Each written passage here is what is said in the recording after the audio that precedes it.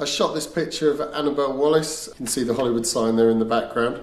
And we were, we literally just pulled over to sort of see the sign uh, and found this little patch of gravelly ground. I've done this a few times in pictures where um, people with really long hair, they throw their head around, you get this sort of fantastic swoosh of movement. I remember first doing it when I was a kid. We'd have parties and we all had long hair. It was back in the sort of early days of Acid House. And if we, we'd all sort of headbang our heads around and take pictures with flash and get these fantastic shots of the hair sort of being caught around at parties. And I've always loved doing it. So in this case, there's no flash. This is obviously just daylight.